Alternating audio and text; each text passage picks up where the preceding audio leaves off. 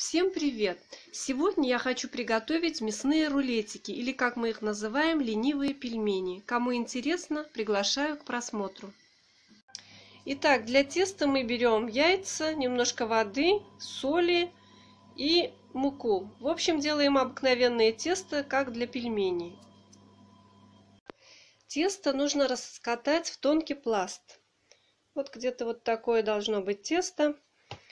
Потом берем фарш.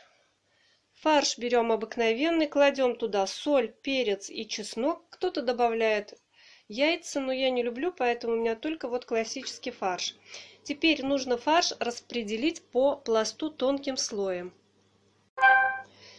Вот так распределила я фарш. Сейчас это дело нужно все завернуть в рулет. Вот так вот плотненько заворачиваем все в рулет. Можно его сварить в мантоварке тоже. Но я варю в бульоне, потому что нам очень нравится, когда в бульоне. Сейчас я это буду на куски вот так вот. Ну, где-то куски у меня будут по 3 сантиметра, наверное. Поделю и сварю в бульоне. Бульон у меня уже кипит. Бульон у меня будет бульон. Хотя, если у вас, например, фарш эм, жирный, можно отварить и в воде. Тоже неплохо. Ну вот, я их порезала. Когда сварятся, они будут более красивые. Вот в таком виде я их отвариваю в бульоне.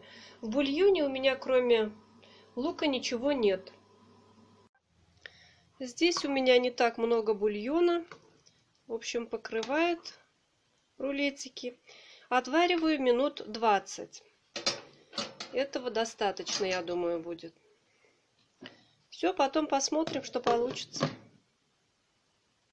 Рулетики у меня готовы. Их можно подавать по-разному. Например, можно подавать как второе блюдо. Вылавливаю я рулетики. Может быть, дома вот у вас кто-то, как у меня, не любит бульон. Можно подавать как второе блюдо с майонезом. Можно подавать как первое блюдо с бульоном. Тоже хорошо. То есть одно блюдо, а довольны все. Вот в этом смысле мне очень нравится это блюдо. Всех благодарю за просмотры. Буду рада вашим лайкам. Подписывайтесь на мой канал. Будем вместе готовить, экспериментировать и делиться впечатлениями от выполненной работы. Ну что ж, я с вами прощаюсь. До следующих встреч. Пока-пока.